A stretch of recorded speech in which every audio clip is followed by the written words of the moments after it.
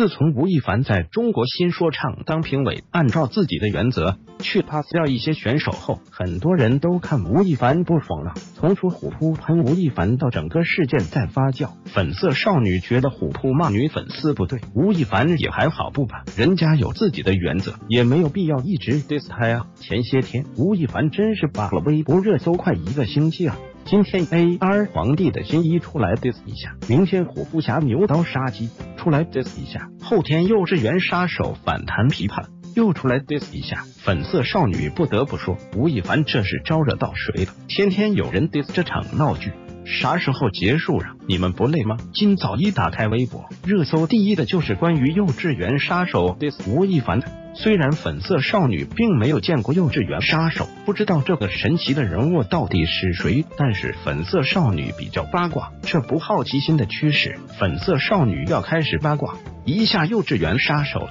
告诉大家他到底是一个怎样的存在。根据网络上的介绍，幼稚园杀手出道于二零零五年，是一个备受争议的中文说唱人物，一个拥有超强饶舌功力，但却声音怪异的 rapper。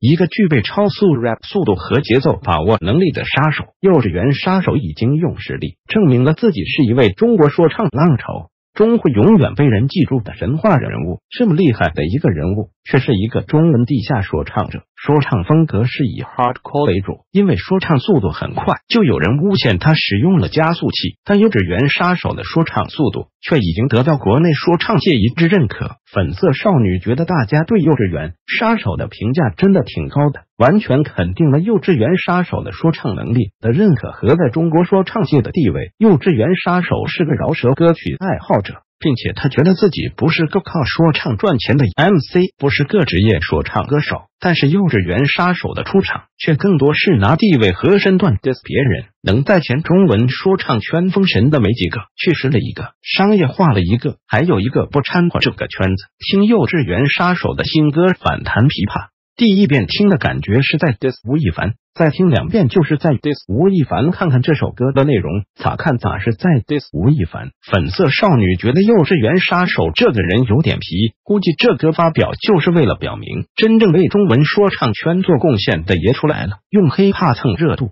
的弟弟们往后稍稍。毕竟是首 diss，不需要情感，也不用深度。diss 的时候，尽管自己开心，谁都不怕，谁都敢骂。